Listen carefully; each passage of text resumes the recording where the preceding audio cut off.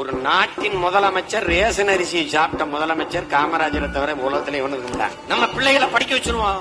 நம்ம பிள்ளைகள் படிச்சுட்டா இந்த நாட்டை காப்பாத்திர மாட்டாங்களா? தெருவுக்கு தெருவு குடிப்பாகங்களை திறந்து குடிக்காத்த கூட்டத்துக்கு இடையிலே தெருவுக்கு தெரு பள்ளிக்கூடங்களை திறந்து படிக்க வைத்த மேதை. அறுபத்தி ஏழுன்னு நினைக்கிறேன் சார். காமராஜரே ஒருத்தர் எலெக்ஷன்ல ஜெயிச்சிருக்காரு.